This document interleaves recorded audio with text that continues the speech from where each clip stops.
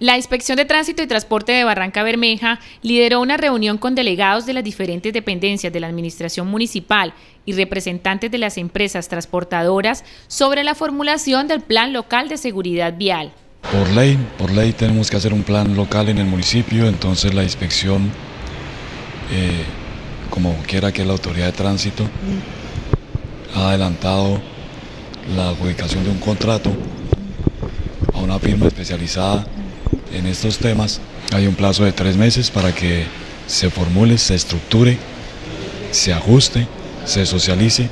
el plan local de seguridad vial para Barrancarme. Ya en otras ciudades del país están siendo implementados los planes de seguridad vial, teniendo en cuenta que en el país mueren al año aproximadamente 6.300 personas en accidente de tránsito. Este es un trabajo que se hace con la participación de las de la comunidad, con la participación de las instituciones, con el suministro de la información que ellos nos pueden brindar y con, eh, eh, por supuesto, que ellos se involucren dentro de ese plan porque eh, un consultor solo va a poner un criterio muy propio, pero se quiere es que sea un documento hecho